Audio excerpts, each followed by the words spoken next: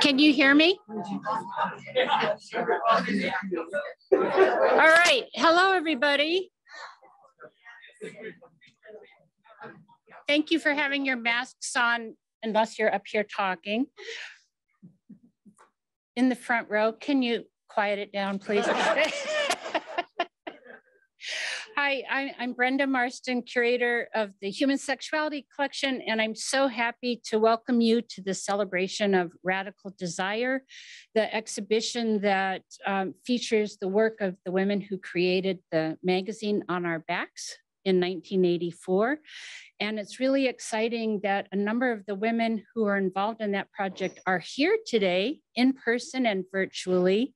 If you were involved, you know, raise your hand Bill Murray, yay.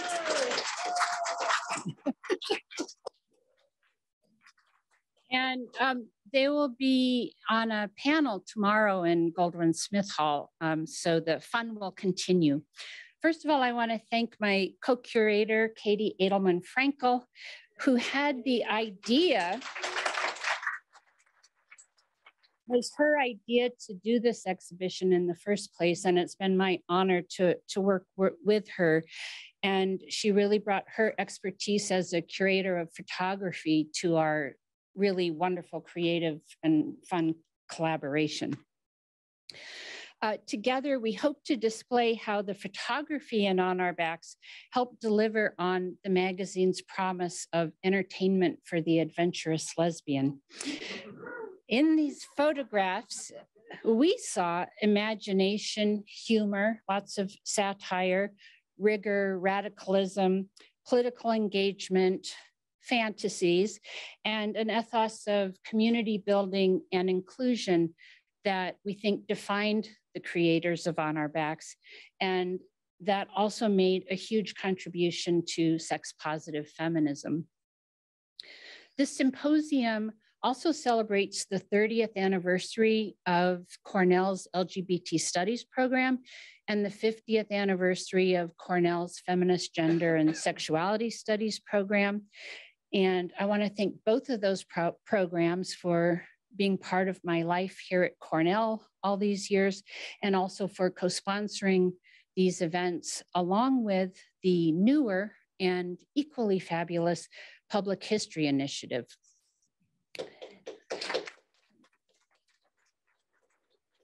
want to acknowledge the Cornell people who made so much of our collecting in the area of sex positive feminism possible by introducing me to Susie Bright.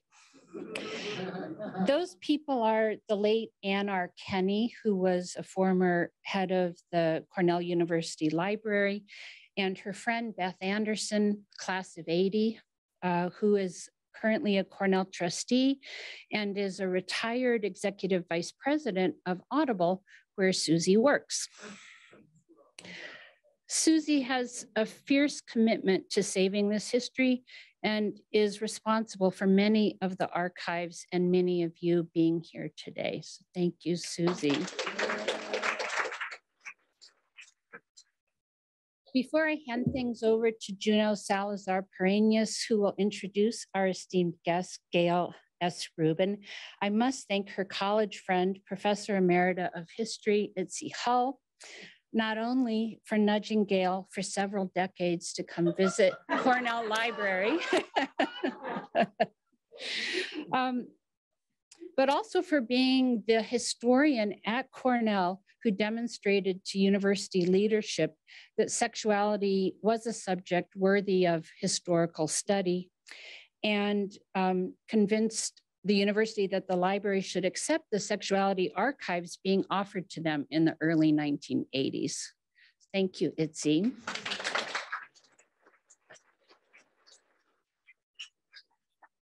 Juno is an assistant professor of science and technology studies and the feminist gender and sexuality studies program at Cornell.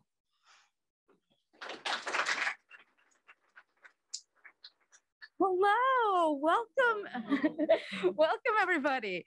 So they say that Cornell is such a um, spread out institution that it takes an outside visitor to bring Cornell's community together. So it's a delight to see the feminist, queer, and sex positive communities coming together for Gayle Rubin in this room, yeah. in this library, and in this esteemed institution. So give yourselves a round of applause.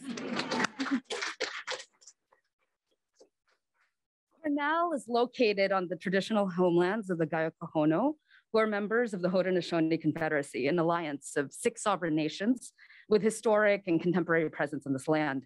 The Confederacy precedes the establishment of the university, New York State, and the United States of America.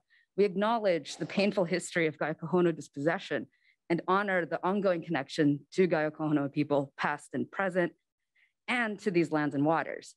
So it's important for all of us to remember that institutions with oppressive histories can help forge liberatory futures. So in that spirit, it's my great pleasure to get to introduce Professor Gayle Rubin. She's too modest to admit this, but seriously, her writing launched feminist and queer studies. Traffic in women, she's, she's rejecting it, but it's true. So traffic in women which she wrote in grad school, gave us the framework to understand sex gender systems. And her essay, Thinking Sex, gave us the language to think of sexuality as a vector of oppression. So, seriously, I am so indebted to her. I'm sure many of you are indebted to her for this too. So, I had the privilege of being her undergraduate student uh, in the late 1990s. So, uh, this was in Santa Cruz. I took two classes with her because I loved her so much as a professor. And it was in her seminar studying sexual subcultures that she said the super memorable quote to me. And okay, you have to remember that she is a very serious anthropologist. So she said, quote, and I remember it so well, I can direct quote it.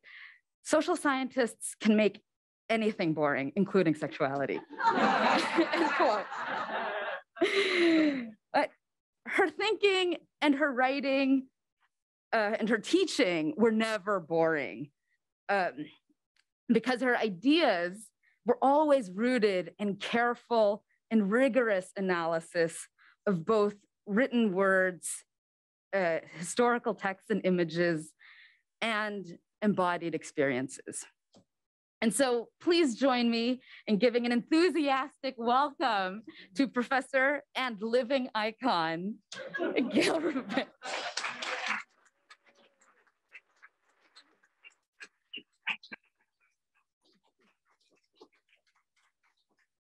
Wow. uh, how's the volume on this? Okay. Thank you. Thank you, Brenda, and thank you, Juno. Uh, for those wonderful introductions. And thank you, Brenda, for bringing me here to this remarkable collection. And I have to say, it has really been a thrill to finally visit and see the riches, uh, the archival and documentary and artifactual riches that have been accumulated here at Cornell on the topics of sexuality. I'm grateful to the library and the co-sponsors of this talk and to Joan Lubin and Brenda for organizing this week's festivities and to the many wonderful staff of Cornell's rare and distinctive collections who have made time this week to speak to me and show me around. It's been wonderful. it, it is like visiting the Vatican Library of sex. and it's quite wonderful to be here. So for this talk, uh, I'm going to revisit a somewhat traumatic period in my life as a scholar and an activist the feminist sex wars of the late 1970s and early 1980s. And I'm going to particularly focus on one area, one of the major sites of contention and contestation. That was the bitter and acrimonious conflict over pornography. I should have titled this talk The Feminist Porn Wars because, in fact, the sex wars were much more extensive than the fight over porn. And just to highlight a few of the areas that people were fighting about, one of the first was the attempt to either marginalize or expel lesbians from the mainstream women's movement, and such that lesbians had to resist exclusion uh, from organizations such as NOW, National Organization for Women. Having resisted uh, expulsion, the lesbians, some lesbians returned the favor by questioning heterosexuality and claiming that there was no legitimate feminist heterosexuality. Uh, there were some straight women who also made that argument. Then there were discussions of what was properly feminist lesbianism, which resulted in the denigration of butch femme roles in relationships, and the assertion that these were merely rehashed versions of heterosexual arrangements. There were debates over penetration. And was this just a remnant of male supremacy? Was it okay for lesbians to do that? Was sexual fantasy permissible? There was actually an argument that fantasy dehumanized and objectified one's partner, so fantasy was not a good thing to do, which put into also uh, put masturbation in question, although I don't remember reading any specific anti-masturbation text. One of the nastier and more persistent disputes of the, of the 70s was over transsexuals. That was the term at the time, terminology particularly the presence of trans women in feminist and lesbian gatherings. One of the earliest of these surfaced, I believe it was 1973, at the West Coast Lesbian Conference in Los Angeles, where a, a, trans woman named Beth Elliott was one of the participants and organizers and was denounced by, among others, Robin Morgan. Um, and then in the late 1970s, the presence of a trans engineer for the who was working for the lesbian recording company Olivia Records occasioned another outpouring of anti-trans sentiment, much of which was more or less codified in Jan Raymond's 1979 book, The Transsexual Empire. Antagonism to trans men surfaced only later in the late 1980s after trans men by the name of Lou Sullivan organized a group called F to M for female to male which was an organization for trans men and, and uh, for female to male cross dressers. This raised the visibility of trans men. They hadn't, there had been trans men certainly around before that, but it wasn't such a visible population. And as soon as they were visible, they then became targets. And similarly, during the mid to late 70s, there was an increasing visibility of SM lesbians, and that then occasioned a rash of anti SM opinion in the lesbian and feminist press and in lesbian communities. One of the ironies of all of this is that uh, this criticism of sexual acts, of gender identities, of erotic roles, has contributed to a kind of stereotype, an erroneous one, I believe, of the women's movement of this period, and especially lesbian feminism, as largely grim and puritanical and hostile to sexual pleasure. And while that description might be act, apt for some, it could not be more incorrect. Women's liberation and then lesbian feminism were hotbeds of sexual enthusiasm. The pursuit and the pursuit of lust was probably as intense as the pursuit of political goals. And the two were often entangled, energizing one another. You know, I can't tell you how many uh, couples came out of demonstrations and so forth. Uh, it was uh, there's a lot of sexual energy in the movement. So while there was this critical condemnation of sexual practices and gendered expressions, there were also workshops on how to achieve orgasm. There were workshops on how to masturbate. The late Betty Dodson, you know, was a, a crusader for masturbation. Uh, there were uh, uh, there, there were sessions, including some university classes, on how to look at one's sexual organs so they would be less mysterious. There were campaigns against monogamy, both in the feminist movement and then in the lesbian feminist movement. Monogamy, you know, had this uh, there was a criticism that it was like private property. And I remember as late as 1986, I was at the National Organization of Women Convention in Denver, Colorado. And there were these little tables, you know, where people were selling stuff. And there was one woman who had a button I will never forget. It said monogamy, monopoly, monotony. that was at a NOW convention. there were also feminist and lesbian artists and craftswomen busily creating erotic images and objects, and then feminist sex shops such as Eve, Eve's Garden in New York, and of course, Good Vibrations in San Francisco, open to provide retail access to sex equipment and information. And these are just a few examples of this very lively and vibrant feminist and lesbian sexual culture that was about to encounter, coming from the other direction, the anti-porn movement, which erupted right around 1977. And I'm going to focus on the anti-porn movement for a few reasons. First, it's an important context for the emergence of On Our Backs, the subject of this astonishing exhibit next door and uh, the focus of tomorrow's panel with many of the founders and producers.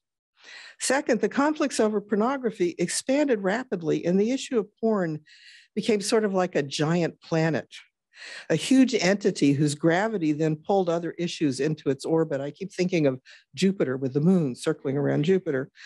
So this had the effect of, of making some issues more uh, prominent and making others less salient at the time. So for example, SM imagery was highlighted because it was uh, indispensable to the anti-porn claims. So that was something that uh, was highlighted by the anti-porn movement. And at the same time, there was a lot less focus, there was a lot more focus on heterosexuality as opposed to in insufficient or inadequately feminist, uh, ostensibly inadequately feminist lesbianism. Uh, lesbian sex practices were not spared condemnation, but there was a lot less talk about them. Uh, trans issues continued to smolder, but have more recently, of course, become uh, the sort of leading bleeding edge of fights over alternatives to heteronormativity, not only among feminists, but of course, the conservative right, which has unleashed this unprecedented barrage of legal and regulatory assaults on trans folk, especially trans kids. The third reason I want to focus on the femin- on the anti-porn movement is that um, these feminist sex wars of the 70s and 80s have been getting a good bit of attention lately, and there's a growing literature that purports to tell their histories and take lessons from uh, these alleged historical accounts. A few of these uh, recent books would be Lorna Bracewell's Why We Lost the Sex Wars, Brenda Cossman's The New Sex Wars, and the one getting the most attention at the moment, and whose name I may mispronounce, um, Amia is it Srinivasan or Srinivasan? Uh, the Right to Sex. And with respect to the last book, I have to recommend Lisa Duggan's amazingly superb review, which appeared in December in the Boston Review and is also available, I think, by way of the Substack, uh, Commie Pinko Queer. Uh, in addition to its overall insight, Lisa's review covers aspects of the sex wars that I'm not addressing today, and particularly the central role of queer desires as sites of contestation and all of this. So I'm going to kind of focus in on the porn wars, but there's a lot more going on. These newer books have uh, joined um, uh, some of the earlier literature, such as Carolyn Bronstein's 2012 Battling Pornography, a couple of anthologies edited by Bronstein, Lynn Comella, and Whitney Strub or Strub. Uh, there have been special issues of Signs, GLQ, and an issue of Communications Review which is devoted to the now heavily mythologized Ninth Scholar in the Feminist Conference held at Barnard College on April 24th, 1982. And I just realized three days ago that that was the 40th anniversary of the Barnard Conference. So we're 40 years and three days from the, from that 40th anniversary from that anniversary, and it was a the Barnard uh, Conference was a watershed event. The moment that the sex wars that had already been raging on the West Coast for several years exploded onto the East Coast. And because it was New York, people often think this was the beginning of the sex wars. And I, I will remind you of that wonderful cartoon, The View of the World from Ninth Avenue, where nothing really happens until it's, you know, uh, e east of Ninth Avenue and in New York. In any event, as all of this work accumulates, the histories of these events are being codified and ossified, and unfortunately, much of the received narrative about these disputes, actions, ideas is mistaken, partial, distorted, and frankly wrong. I myself have not yet had time to fully digest these newer publications and have dipped in, only dipped into them, but even a cursory look reveals some howlers of just some basic mistakes. So I'm going to give you a few.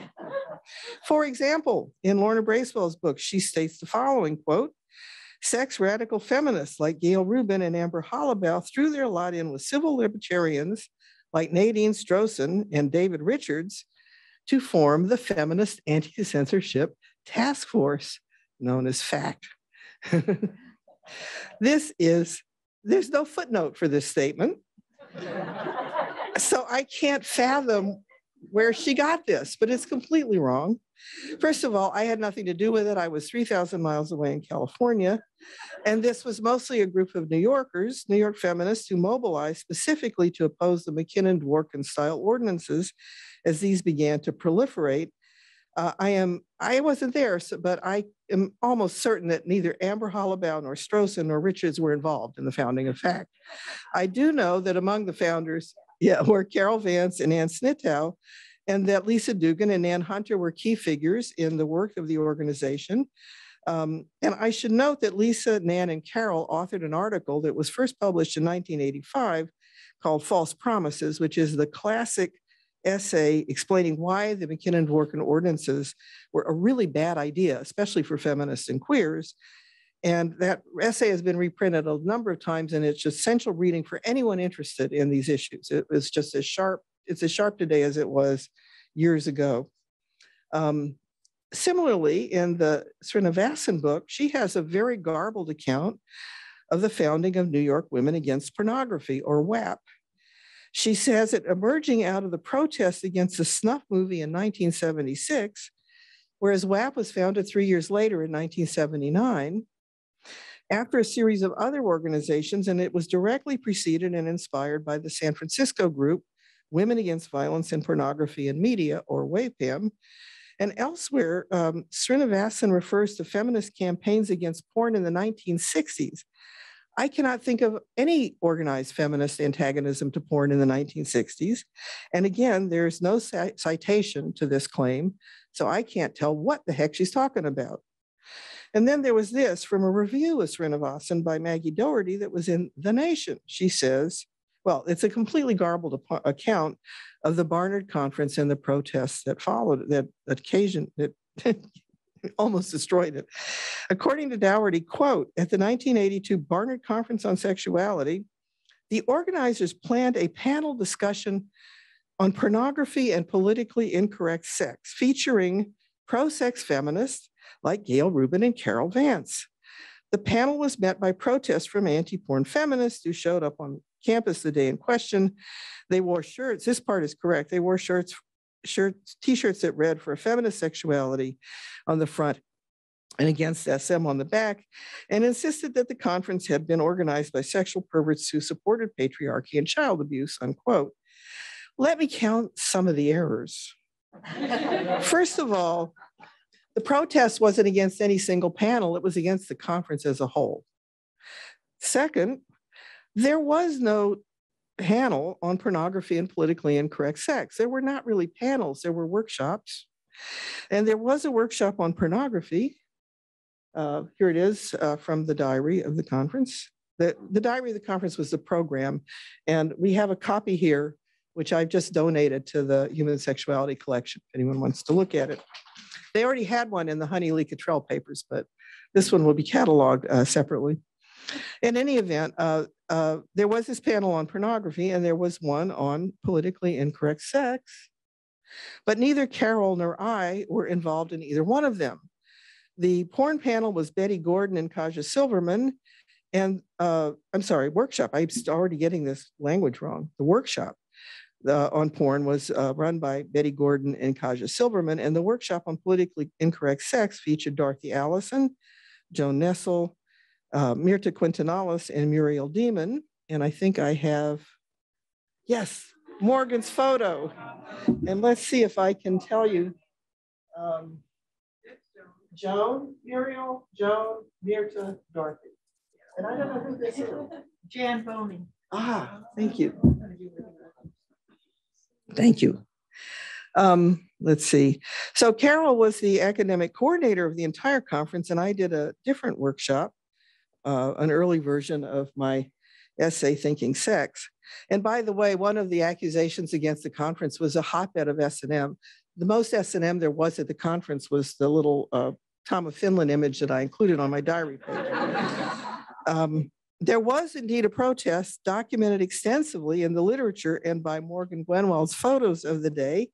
Morgan, this is the protest outside the Barnard Gates. I'd kill for one of these t-shirts. you might have to kill like Dorchen Leidholdt or somebody. Because uh, we didn't have them. this is another of Morgan's photos. And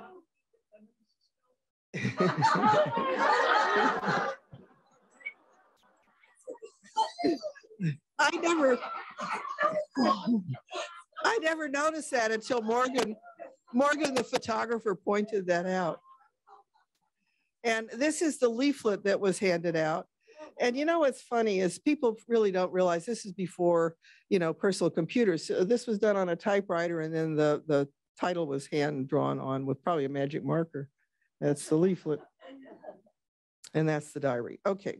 Um, if anyone is interested in the details, I can refer you to Carol Vance's epilogue to Pleasure and Danger, uh, which was the book of papers from the conference and my account uh, of it in my collection of essays, deviations, or the conference program itself, which is full of information about what actually happened at the conference. So there were panels on disability and class and race and aging and all kinds of stuff. Uh, it, it, was quite varied. And the whole idea was to have a broader discussion of sexuality and not just focus on porn.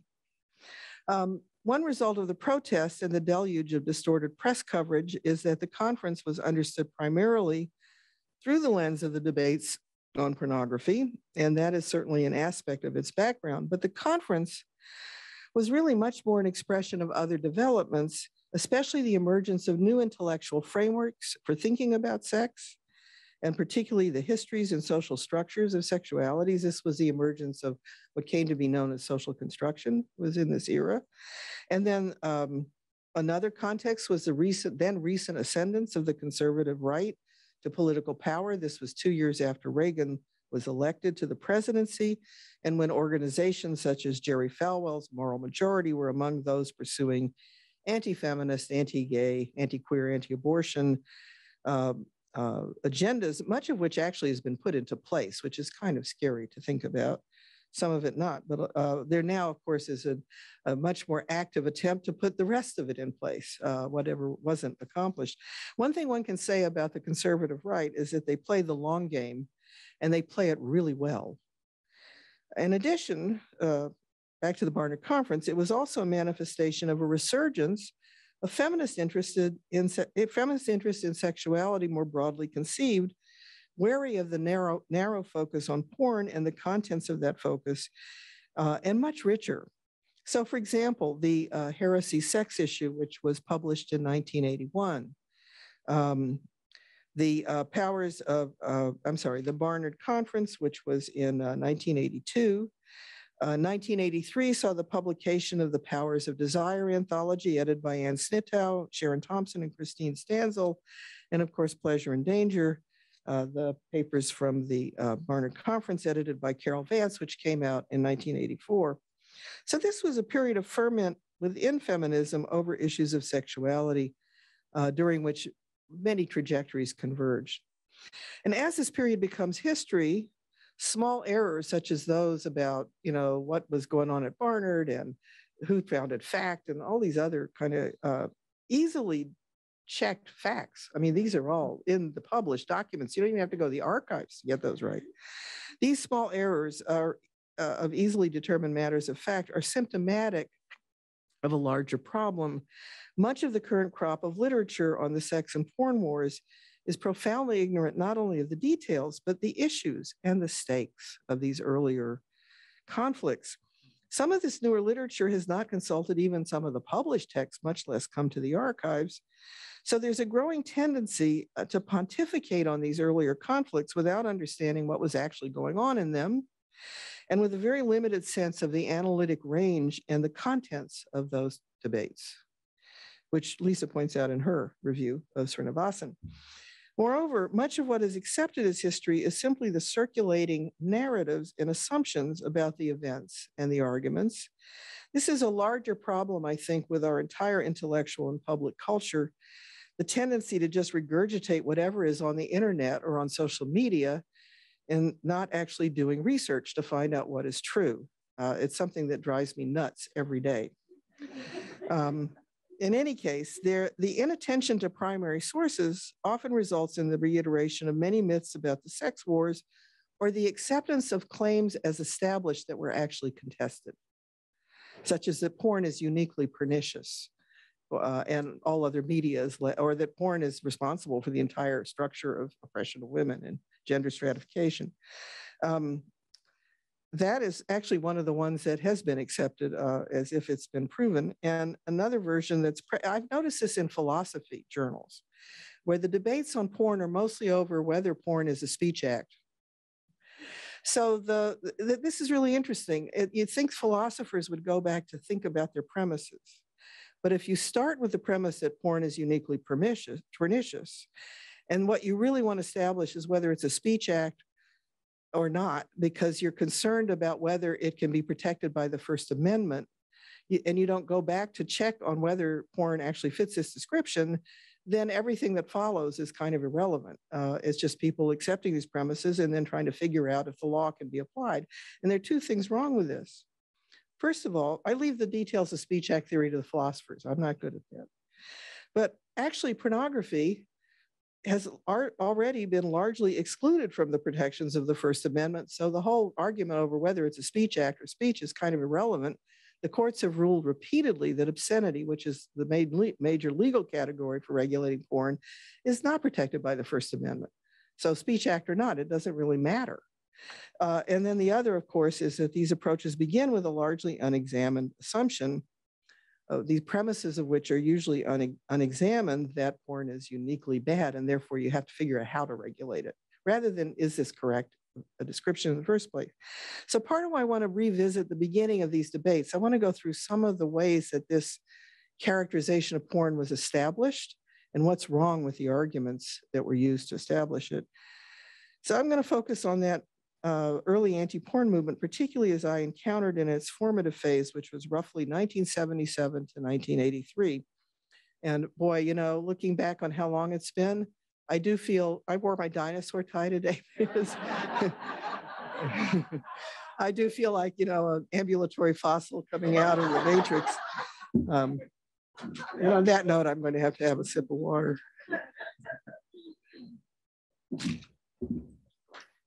It's also impossibly long ago.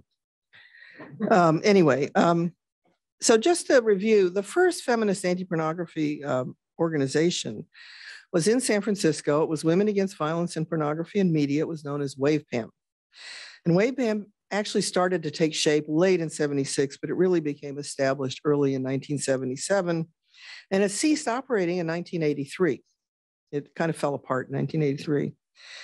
Um, WAVPAM then in 1978 held the first major feminist conference on pornography. Take, it was called, uh, the book based on that was called Take Back the Night. And that was the, um, uh, the, the, book of the conference papers. It was published in 1980. And if you really want to know what the anti-porn movement looked like, uh, you know, before 1983, you have to look at this book. It's, it's revelatory. Um, that conference in 1978 that WAVPAM put on is what sparked the formation of WAP, Women Against Pornography in New York in 1979. That did not emerge out of the snuff protest. That's a whole other trajectory. That emerged out of this conference um, in, um, in San Francisco. And the New York people who came went back to New York and said, oh yeah, we need to do something like this. So they did. And then as WAVPAM faded, WAP really became increasingly central to anti-porn feminism until it too closed shop. And I've been able to figure out exactly what year they closed shop, but it was sometime between 88 and 1990, as best I can determine. There were lots of other anti-porn groups, but none with the scope and influence of WAVPAM and WAP. And there's a second phase of the anti-porn movement that starts in 83, 84, in which some people mistake as the beginning of the anti-porn movement. And that was when um, Catherine MacKinnon and Andrea Dworkin introduced their so-called civil rights anti-porn ordinance. Um, increasingly, the remaining anti-porn activists and organizations adopted the ordinances as their preferred goal, and it was to contest those ordinances that Fact Indeed was founded. Um, and that's a really different phase of the anti-porn movement than the early phase. So Take Back the Night is sort of the early phase, and then the MacKinnon-Dworkin ordinance is the next phase. Um, then by uh, 1986, the ordinance had been declared unconstitutional in the United States. And many of the key remaining anti porn activists shifted their attention um, to trying to abolish prostitution instead of porn. Uh, they migrated into a resurgent movement around trafficking and they helped to make that movement uh, surge. But the wing of the movement in which they uh, uh, ended up is that which defines as its target not coerced labor and coerced and, and exploitation of migrants and so forth, but simply commercial sex and prostitution. Um, I was going to end this with a discussion of the anti-trafficking movement and the different wings of it and how they define trafficking. I'm not going to have time clearly today, so I'm not going to do that. But just briefly, uh, this particular understanding of trafficking, uh, while rooted in the larger history of anti-prostitution activism that goes back to the 19th century, is very much shaped by the conceptual frameworks and in many cases, the actual personnel from the anti-porn movement. Many of them have just migrated into anti-trafficking anyway, um, to re- so to recap briefly, the chronology of the feminist anti-porn movement would be as follows. First, the era inaugurated by WAVPAM, in which pornography became a major focus and many other issues kind of faded to the margins. Just one of the objections that feminists like me and Lisa and Carol and many others had about it. Like, what happened to the rest of the agenda? Why are we only talking about porn now? Um, then there the second, uh, then there's the ascendancy of WAP and New York, and then there's the turn toward the state with the ordinance. And then there's the transition uh, into activism against sex work, uh, which is, happens really around 88, 89. So um, I would argue, I mean, Carolyn Bronstein says it's only WAP that really starts, she, she thinks that WAP was the first real anti-porn organization. I disagree. I think it was WAVPAM it's true that before either of these organizations, there had been writers who had previously denounced porn, such as Susan Brownmiller, who spent several pages uh, denouncing porn in Against Our Will. That was in 1975. And it should be noted, Andrea Dworkin is often sort of retrospectively uh, uh, credited with starting the anti-porn movement, but she really didn't. And the book that she wrote on porno- the, her book Pornography was not published until 1981, which is four years after the founding of WAVPAM. Now, she did have an earlier book, Woman Hating. Oh, this is a WAP demonstration. Sorry, I forgot to show you that. Nurse Sherry.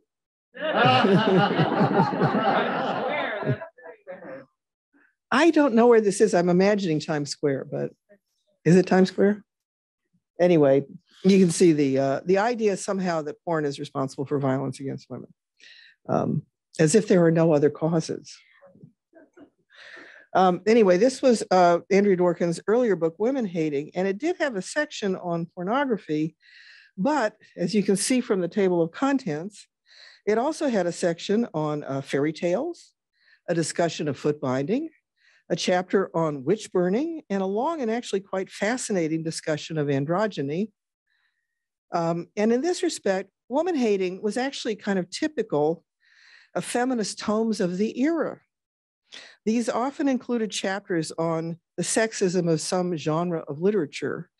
And in, uh, in, in um, Dworkin's case, she picked on two uh, literary uh, SM novels from France, uh, Story of O and The Image, and then uh, Suck Mag, I Suck, which I think was a magazine. I, I, was trying to get a copy of the book today so I could check to see what the heck Suck was, but I think it was probably some magazine or, or what?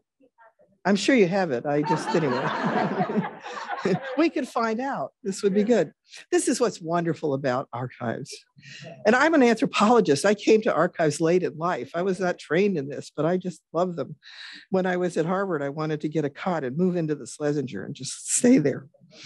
Uh, I, I spent a semester there. Unfortunately, not nearly enough time in Schlesinger. Anyway, um, so I want to compare this to another book from the era, Kate Millett's Sexual Politics. And you note that she also has a whole section on literature, much of which was at one time considered pornographic, D.H. Lawrence, Henry Miller, Norman Mailer, and Jean Genet. So, you know, the difference between what she's doing and what Dworkin is doing is not that great. They're both going after certain literatures uh, as part of the structure of sexism, but they have many other factors there. So what Dworkin is doing in Woman Hating, even though she has a section called pornography, is not what the anti-porn analysis actually was when that movement happened. Uh, and the other thing to realize is that these scattered indictments of pornography did not lead to the formation of organizations. Um, or activism around porn, that only took off with the formation of WAVPAM.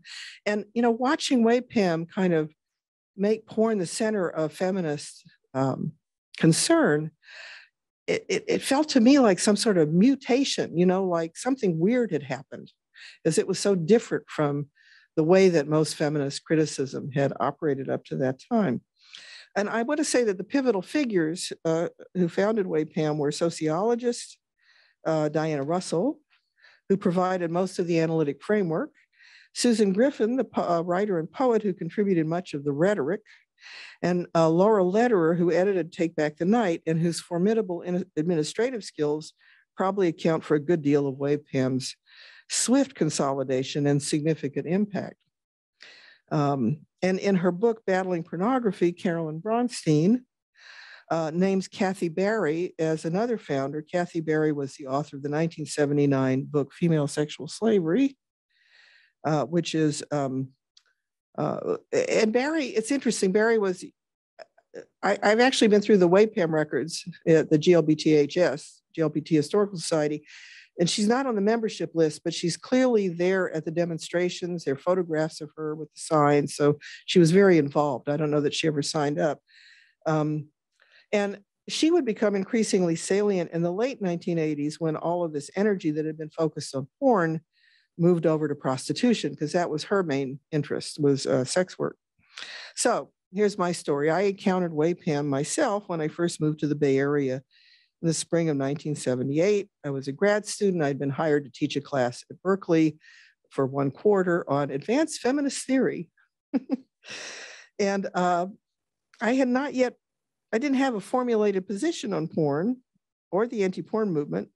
And I wanted to learn more about it. And two of my best, brightest, most enthusiastic students, of course, they were deep into WAVPAM and they said, Hey, we'll take you to the slideshow, which they did and I went, and that was that was the experience that changed my opinion of all of this. I was completely open to a feminist critique of pornography, which would, if it had been like the feminist critiques of pretty much all other forms of media at the time, but that's not.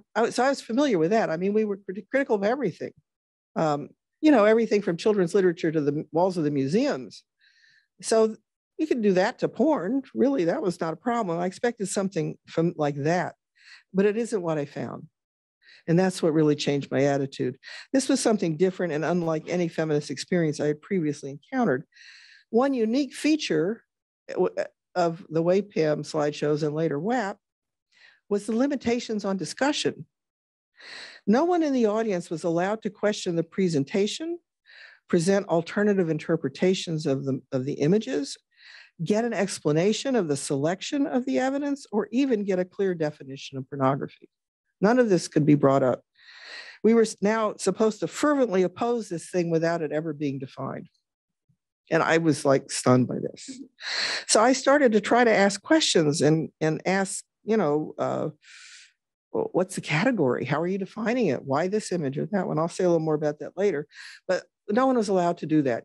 They would say things like, now that you know how terrible porn is, let's see what you can do to stop it. That was it. And if you doubt me, there are two written accounts of the WAP slideshow in New York that are very similar. One was by Paula Webster and one by John D'Emilio, and they described the same thing, which is there was no discussion permitted. So I began to articulate my uh, questions, comments, and criticisms publicly and quickly became persona non grata and the target of personal attacks and these kinds of attacks were a pattern of conduct that would uh, continue throughout those years. And is one of the reasons we call these we call these the sex wars instead of the sex discussions. you could have a discussion. there was no discussion. So all this is very old history in many respects, and the issue of porn uh, kind of abated within feminism, although I anticipate a reprise any minute. Um, personally, I was relieved to see the anti porn fever kind of subside because I wanted to work on other things. I've never actually been that interested in porn. I'm interested in regulation and the effects of regulation and what all of this meant for everything else that I was uh, wanted to know about. But I, am not a porn scholar, never have been and never will be. You know, there's now this journal, Porn Studies. If anyone wants to get porn scholarship, you go to that or Linda Williams, those people, they actually study porn. Uh, I do not. So I've happily worked on other things since uh, the early 1980s. But while these wars receded and changed form, unfortunately, they never really ended. And the legacies of anti-porn feminism continue to shape a good deal of our current landscape of law, policy, and social action with respect to sexual conduct. So I think it's important to note how, first of all, how peculiar this obsession with pornography was in the context of feminist politics in the decade before the founding of WAVPAM. Early radical feminism and women's liberation were incredibly concerned with sex, sexuality, women's sexual pleasure, along with violence, rape, and battery, and a lot of other things. In the formative phases from the late 1960s well into the 70s, the assorted facts, fa- uh, I'm sorry, facets of the women's movement were concerned with pretty much every manifestation of gendered inequality and the uneven distribution of social goodies and liabilities and the mechanisms that kept those things unequal. The early publications, such as Boston's uh, No More Fun and Games or Journal of Female Liberation, and New York's Notes from the First, Second, and Third Years, which were actually published, I just discovered today in 68, 70 and 71. So they skipped a year, but they still called it first, second, and third. Well, anyway, but these early journals make this abundantly clear. These were two of the first kind of compilations of the kinds of discussions people were having. The first issue of notes uh, from the first year from 68 included a piece called Women Rap About Sex. It's a compilations of a compilation of conversations that had been compiled by Shulamith Firestone. And it was mostly a litany of complaints by women about not getting their fair share of orgasms and sexual pleasure. That's in notes for the first year. It also included Anne Koedt's very famous article, The Myth of the Vaginal Orgasm, one of the most widely read and frequently reprinted dissections of the prevailing assumptions about women's sexual anatomy, and which uh, uh, which were really was also basically a cry for more women's sexual pleasure.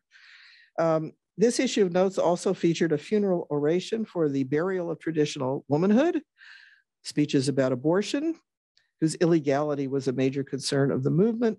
And subsequent issues of the notes were much more comprehensive and featured just a few of the topics critiques, critiques of love, not just porn, but love. Politics of housework, boy, that was a big one.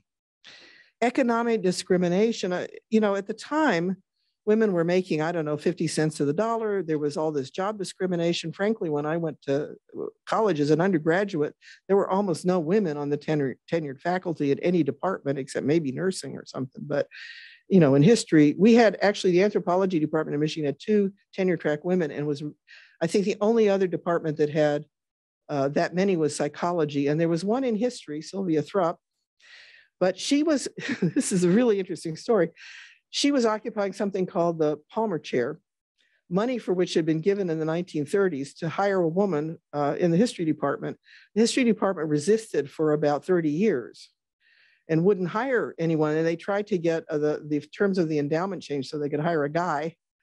And they finally hired Sylvia, who was a medievalist and really quite remarkable. Uh, but you know, there there were very few women in and there was a the glass ceiling was real. I mean, people, working class women aspired to be secretaries. I mean, it was hard to get above that.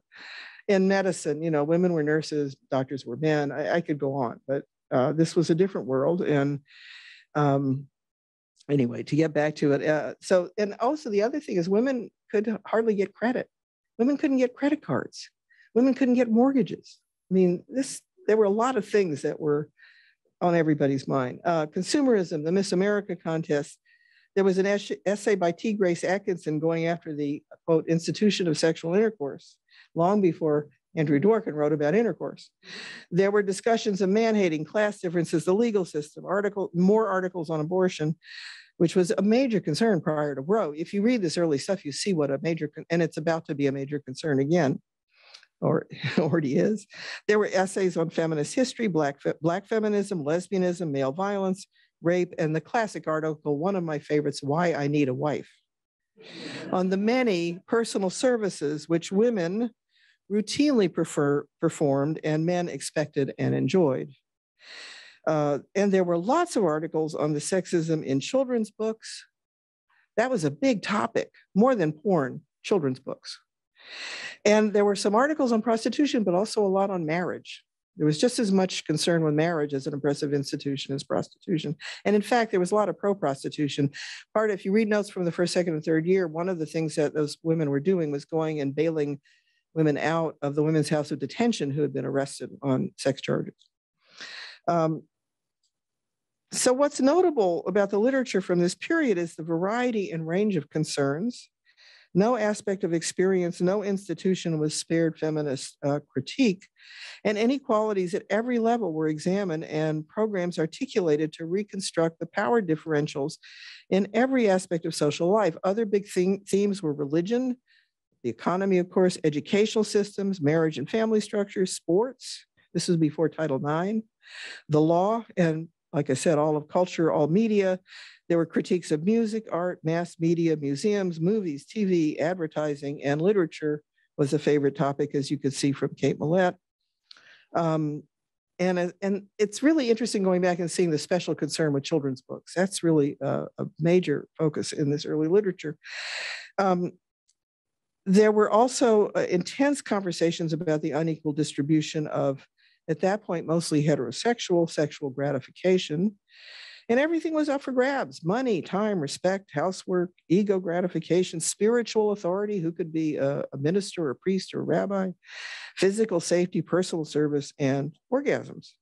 And what's also notable is that if pornography was mentioned at all in any of this early literature, it was kind of in passing, you know, just kind of a throwaway in a list or something. Um, there's a lot less about porn than there is about children's books and marriage. So a major, um, the other thing I wanted to say is that a major cause of a major um, preoccupation in feminist writing in this period was the identification of what caused male supremacy and gender inequality. A huge amount of the early literature was concerned with trying to figure out why we were in this situation where men had all this power and privilege and women much less. So there were a lot of causes that were proposed. First, there was, you know, the classic uh, Frederick Engels, private property, the family, and the state. Uh, there was the armed patriarchal revolt that also goes to Engels, but there was also capitalism, imperialism, the sexual division of labor, motherhood, mammalian reproduction, hormones, male propensities for violence.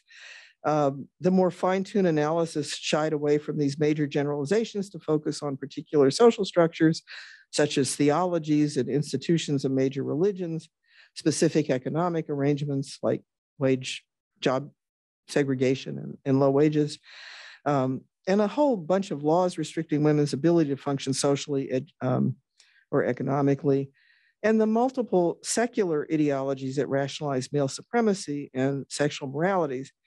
Um, again, I can't think of a single example from this period that indicted porn as a major cause of anything.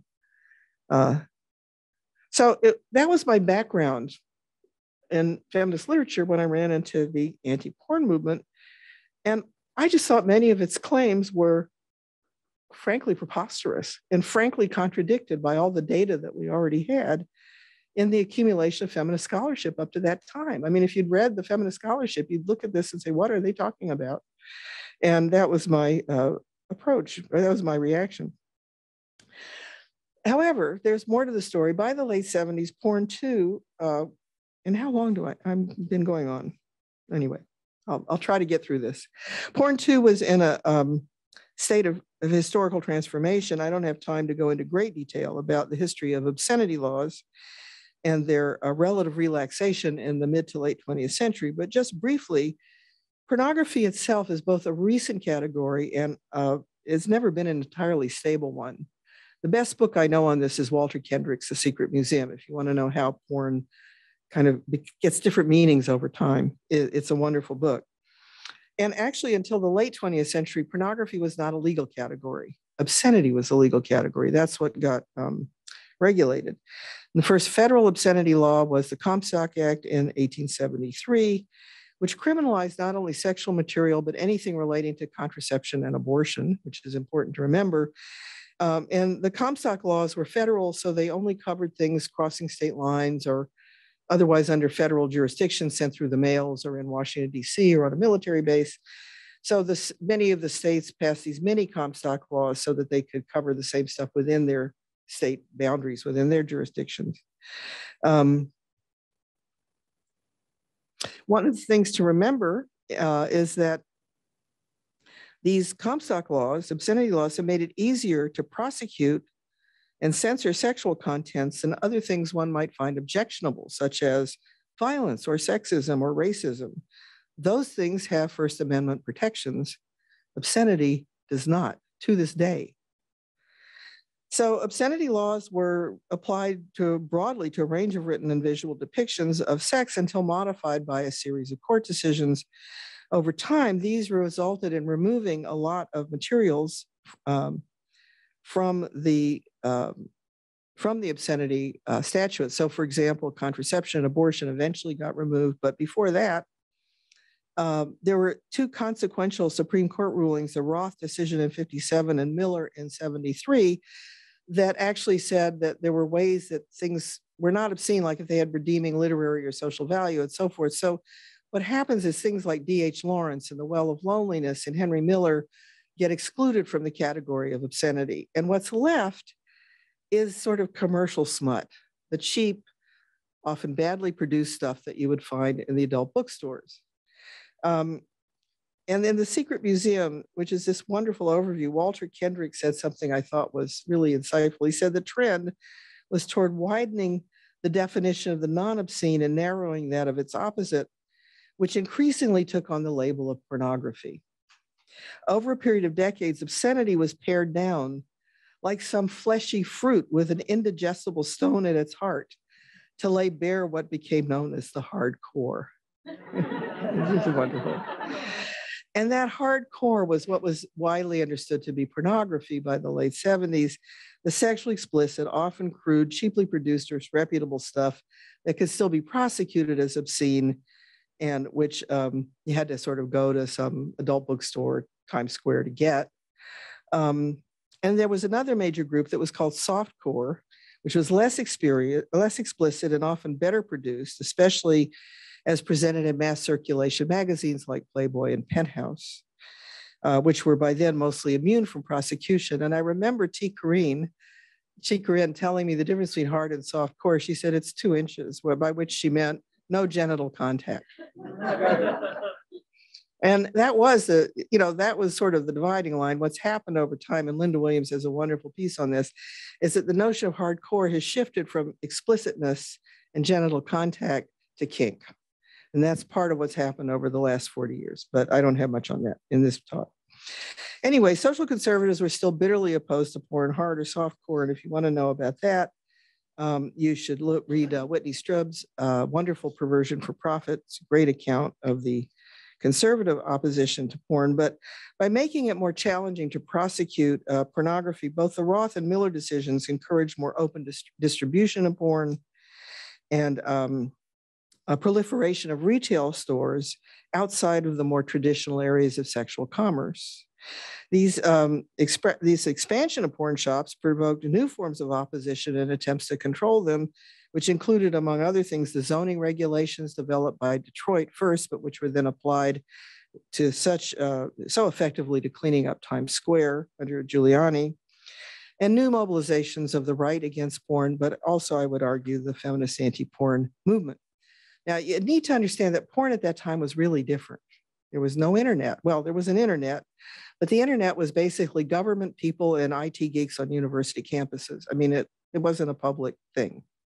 There was no net, there was no navigator, no Netscape, no web, uh, no, gra- no, no graphic interface. This was all mostly Unix and I don't know, Fortran and other things that I don't know how to do.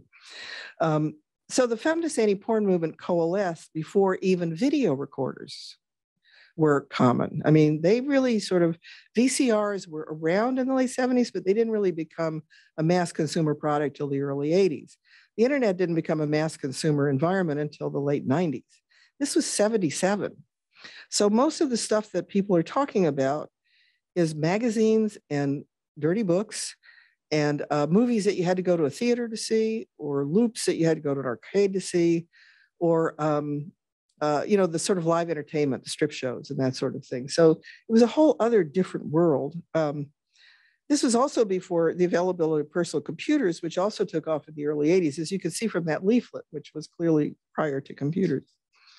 The documents of this period were done by hand or on typewriters.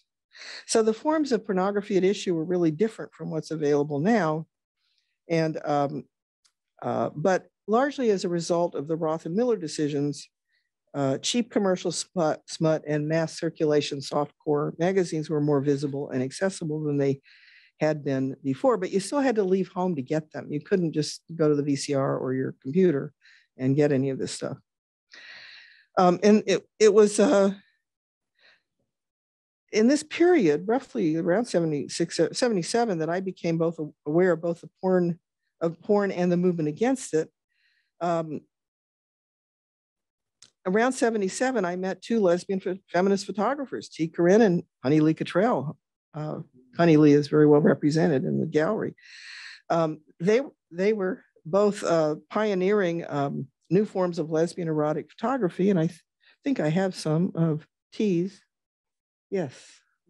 Um, just thought I'd show you a few of her photos, which I um, uh, have by permission of the Tee Corinne Papers Special Collections and University Archives University of Oregon libraries. That's where Tee's material is.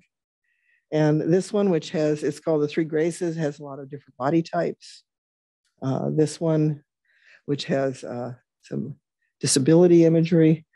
And this one, which is very famous and was the cover of Sinister Wisdom, made into a poster and I think I, oh yes. And then Susie mentioned this yesterday, another of Tee's productions, the famous cunt coloring book. And I'll leave that up while I do some more talking. if I get bored, you can be distracted. If I get boring, you can be distracted. Um, anyway, they were the ones who first alerted me that there was some feminist movement against pornography, and they were worried that it might imperil what was then a nascent genre of lesbian produced and lesbian focused erotica. And of course, eventually it did imperil that project. And I was just ignorant of porn at the time. I, you know, you just as a, a female in that era, it was hard to actually see. We had a little store in Ann Arbor called the Blue Front, which is where you went to get like alternative newspapers and academic journals. And in the back, there was a rack of porn.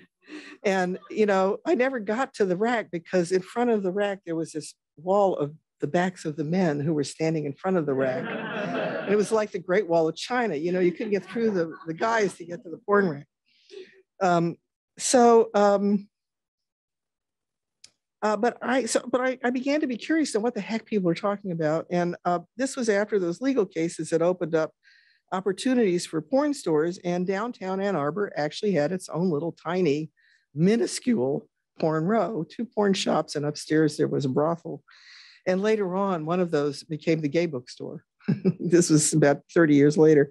So I wanted to check it out, but I was kind of scared to go in. You know, yeah, there was a sense it was a place of unknown peril, something bad might happen.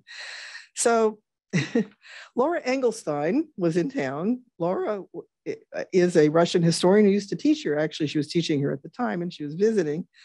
So I recruited her to be my buddy and go on an expedition to the local porn shop. So we Laura agreed and we walked in and nothing bad happened. In fact, nothing happened. It was a very ordinary place, aside from the wall of magazines with color photographs of naked people and visible genitals, mostly engaged in some kind of penetration. So there was a vaginal shelf and the, the, you know, the anal part and the oral part and the interracial part. In the very back, there was some gay porn. I mean, it was sort of thematically organized, but uh, you know, so people could find what they were looking for. uh, in any event, most of it was pretty clearly sexist and very poorly produced, but I didn't think the sexism was markedly worse than that of mainstream media. I hope that's not my phone. No, okay. Um, so I was totally on board with the idea that there should be better, less sexist, more attractive, and more feminist porn. And a few months later, I was at the WAVPAM slideshow with my two students. And I realized that the actual anti porn movement was not interested in better porn. They wanted to get rid of it altogether. And the case against porn, and this is sort of the core of what I wanted to convey today, was so dubious that it still stuns me how quickly this became hegemonic and people believed it. And really smart philosophers to this day believe it and are just worried about whether or not it's a speech act. I mean, that's what's going on as far as I could tell in the philosophy journal. Anyway, um, the slideshow, this is from the WAVPAM script. describing the slideshow. This slideshow presents a spectrum of images which we consider pornographic. We consider pornographic. These images are found everywhere from books and magazines, commonly recognized as pornographic, to mainstream album covers and fashion photography. So already they've skipped from porn to something they consider pornographic. They range from the most blatant violence to the more subtly dangerous objectification. That's a really strange range of things. So they go on. Uh, some of the images were what was commonly considered porn. Other was were just considered pornographic.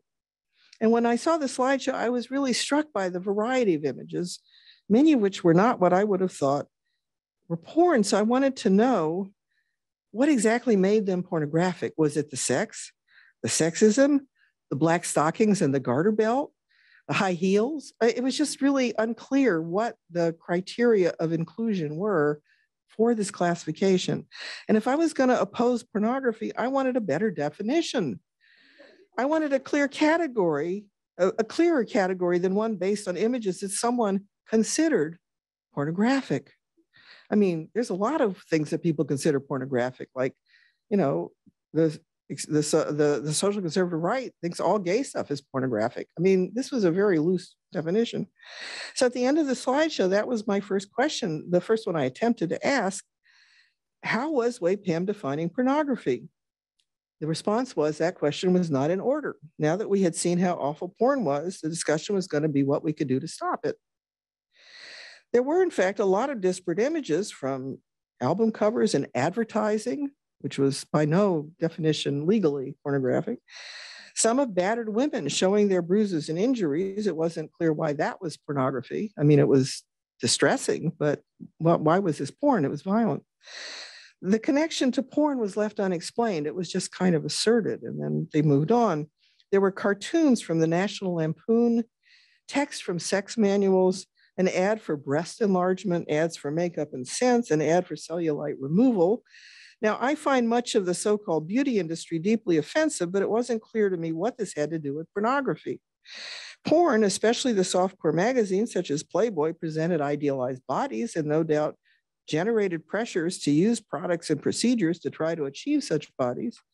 However, there was apparently no awareness that Hollywood movies and fashion magazines were at least as, as uh, responsible, if not dramatically more so, for the promotion of unrealistic ex- expectations for female bodies. Why was it just porn? I mean, all you had to do was look at some fashion show to see these bodies that most people couldn't. And Hollywood actresses, I mean, they're they're unicorns. You know, they're extreme cases. Um, so again, there were there were slides referring to Hollywood movies for other reasons of sexism and violence, but it wasn't clear what that had to do with pornography. There was a slide referring to alleged snuff films as if there were actually a real genre of films made of real murders, made of to film real murder, murders of real women for sexual pleasure. There was no such genre at the time. I don't think there is now. Uh, and the original snuff film was actually a marketing hoax it was not actually a murder of a real woman. It was a marketing hoax attached to a B grade slasher film, uh, which Linda Williams details in a section in her book, Hardcore. Um, so, they, you know, what, what were the snuff movies they were talking about?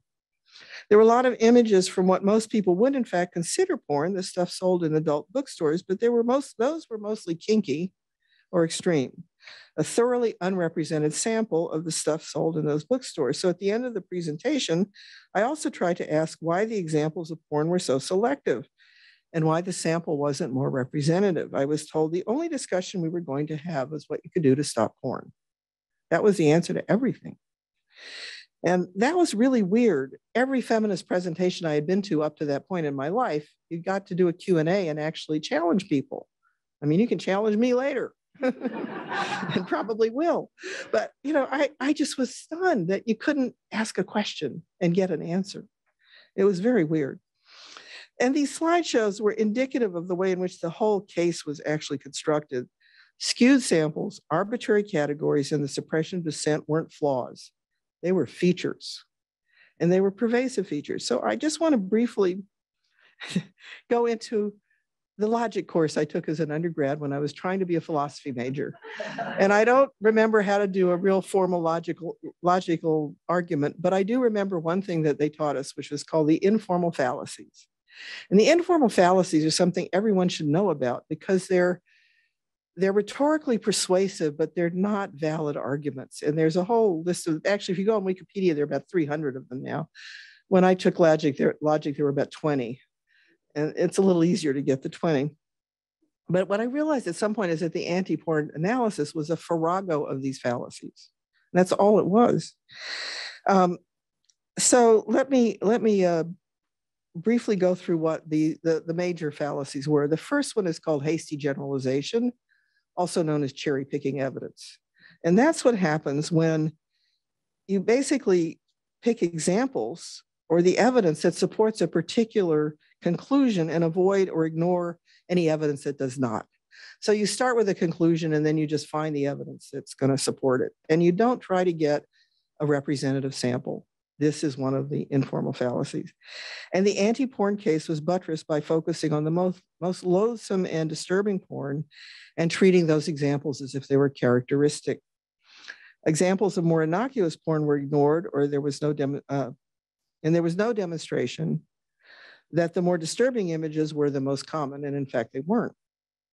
You can't conclude something about a group or a phenomenon from a selection of the worst examples or manifestations. That's how racism, frankly, works, uh, and lots of other forms of bigotry. You just find some bad example and say all immigrants are criminals or something. I mean, that's that's the way those arguments work. So the fact that there was clearly sexist, violent, or object, objectionable pornography, which there certainly was, was not sufficient to demonstrate that pornography as a whole was sexist, violent, or objectionable, or that it was more so than other forms of media. So the first was this cherry picking problem.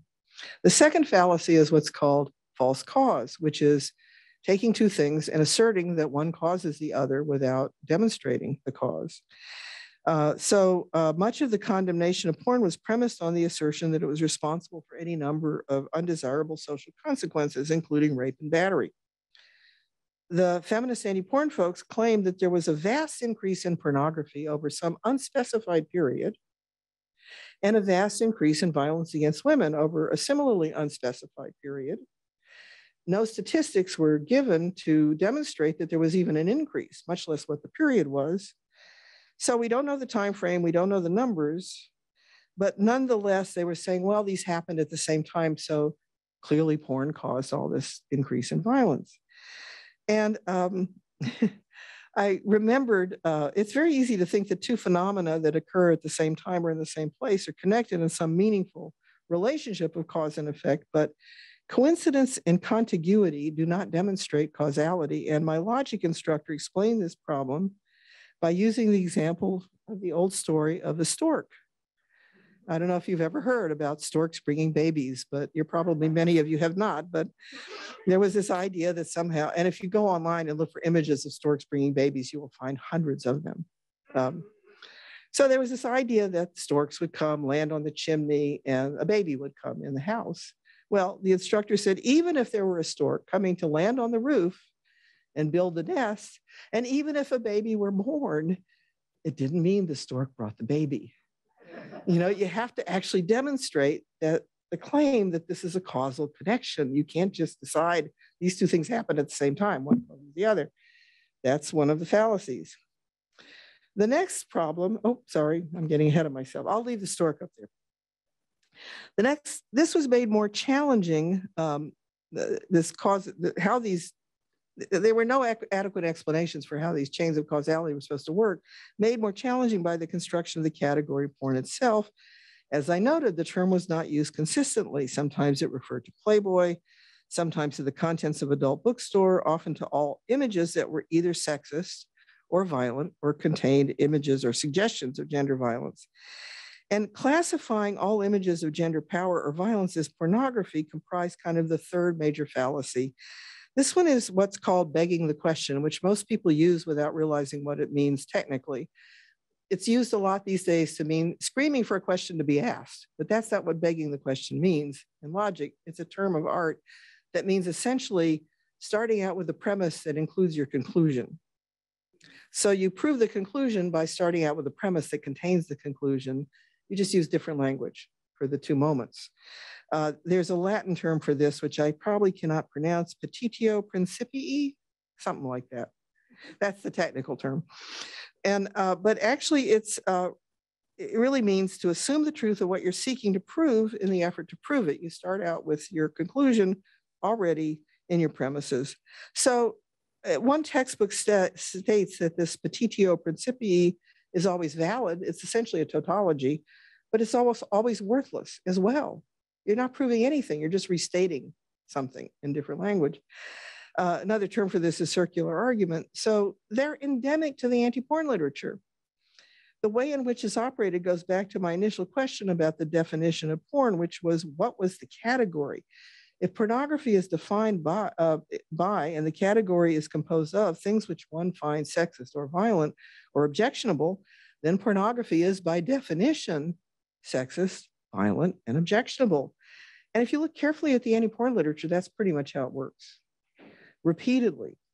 So, but if all porn is equated with sexism and gender violence, then it is even less clear what the specific role of sexually explicit media is in, or in adult bookstores is.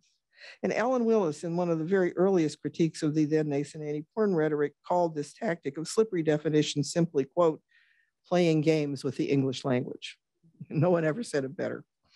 So those that's really kind of how the um, the arguments worked. And then if none of that worked, there was the fourth informal fallacy, the, the well-known ad hominem, which means attack the person. So instead of arguing the point, you attack the character of your opponent oh, you can't believe what he says. He's just a scumbag. You know, can't believe what she says. She's not a feminist. She's pro patriarchy. She's something worse, whatever it is. And that's what happened. Uh, in 1982, Robin Morgan denounced a bunch of us and asked how we dared call ourselves feminists. I don't know how Robin Morgan got appointed as the Pope with powers of excommunication, you know, but she seemed to think she had them. And in a 1990 collection based on this conference, The Sexual Liberals and the Attack on Feminism, they made a book out of it. Sure, there's a conference and then a book. Ti-Grace, Kathy, Kathy Barry, Susan Brownmiller, Dworkin, Sheila Jeffreys, MacKinnon, Robin Morgan. Uh, yeah, and, and Gloria Steinem. Um, anyway, in the book that came out of this conference, Sexual Liberals and Attack on Feminism, here's what MacKinnon said. Quote, the black movement has Uncle Tom's and Oreo cookies. The labor movement has scabs. The women's movement has FACT. so that's ad hominem. I mean, you just, it's a, you have to listen to their arguments because they're scumbags. So, and uh, just so you know, this is the booklet that FACT put out called Looking, and it's a wonderful compilation of a lot of the arguments against the anti-porn movement. At the time that this all happened, the anti-porn argument should have been assessed and evaluated as was the usual procedure in the movement. Instead, opposition to pornography became identified with feminism itself, and the claims about it became ever more inflated. For example, in her 1983 book, Right Wing Women, Andrea Dworkin helpfully included some diagrams to illustrate what she considered the significance of both pornography and prostitution. Here we have the condition of women. Pornography battery and rape and exploitation and prostitution. Or another one, prostitution as the material reality, pornography as the underlying ideology. And the third one, pornography as the surface phenomenon, prostitution as the underlying system. I mean, this is nuts. Just completely nuts.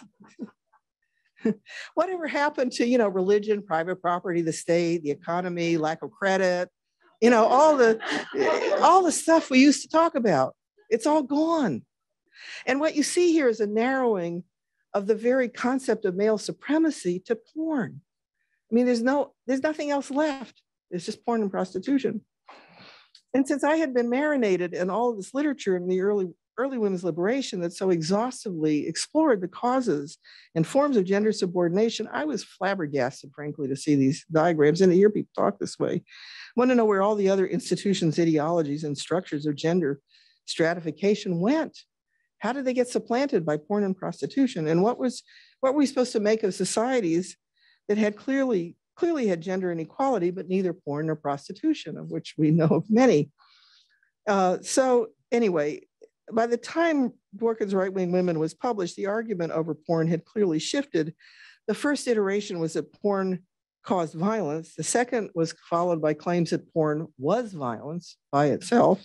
And eventually, pornography was elevated to the primary cause of all of our problems of gender stratification. Just everything else went. And as I said, pornography became a replacement for male supremacy.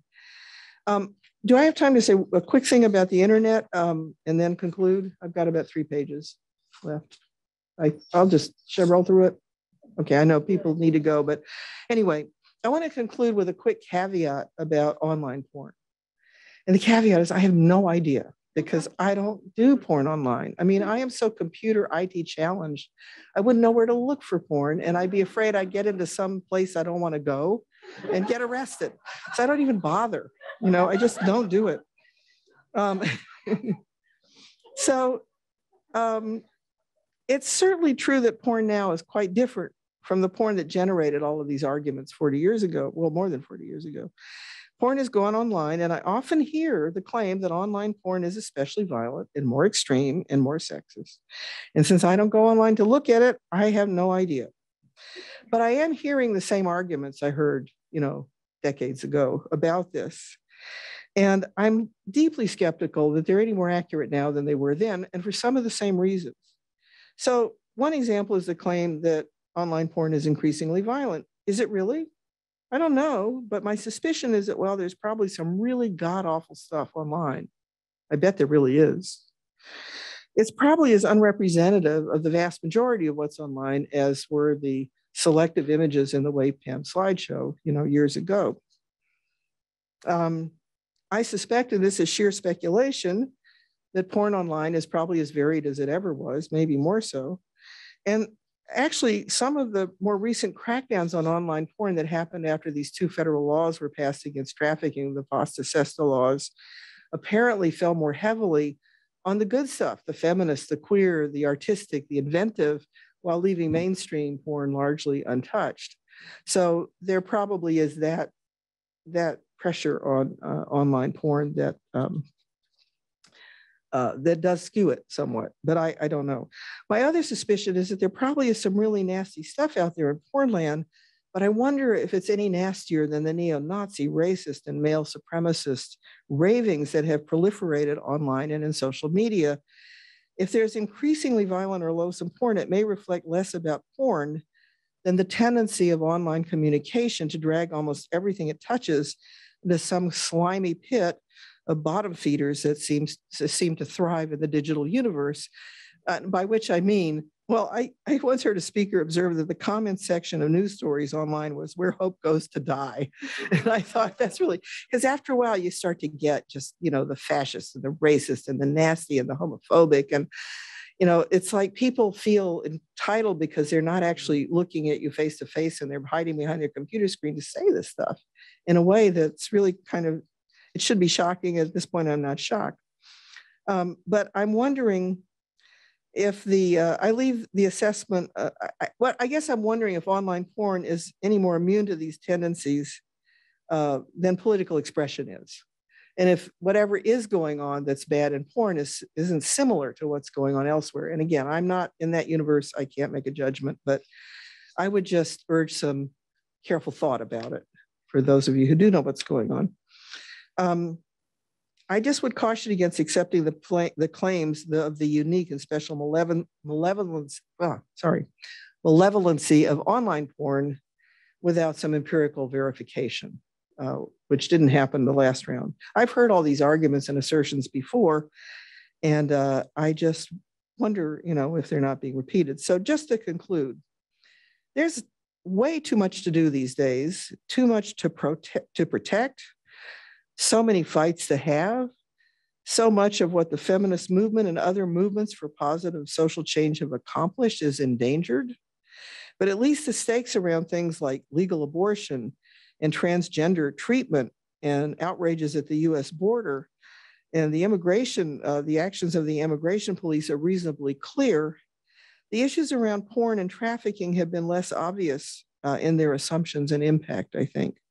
So I hope I've at least been able to contribute to what I hope is an increasing skepticism toward the narratives about porn. And unfortunately, I didn't get to the ones about prostitution, but I'm happy to talk about in the Q&A, that have become such a significant part of our current cultural and political landscapes. Oh, and I don't want to leave you. Yeah, I'm going to leave you with this. This is the um, centerfold of the Barnard um, uh, statement, the pleasure and danger statement from the diary. It's more entertaining, I think, than more elevating than uh, Dworkin's diagrams. Um, and I hope as new voices and new constituencies try to bring back these sex wars and put such a positive spin on, on, uh, on them, that there is more skepticism about their claims and more careful examination of the histories and the programs that are being proposed. And I also hope that today and tomorrow we can celebrate something else, which is the courage, creativity, and brilliance of the ladies and butches and genderqueers and others who decided back in the teeth of all of this prevailing antagonism toward erotic imagery in the early 80s that it was time to have a magazine for lusty lesbians and their friends, lovers, and comrades. Here's to you all. Thank you.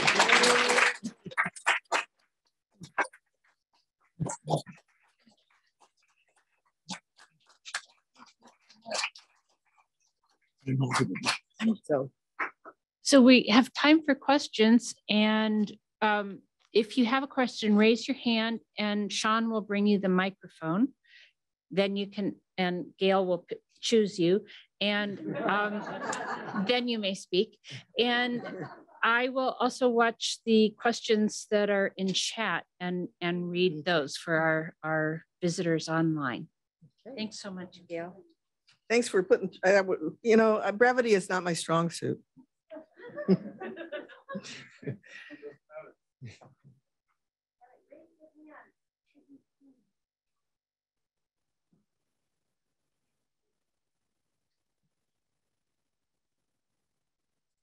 We have a, we have a customer. Yeah. Hi, thank you. That was wonderful. And having been through around the periphery of that in New York, it's great to hear it from uh, a long view, 40 years. Wow. Mm.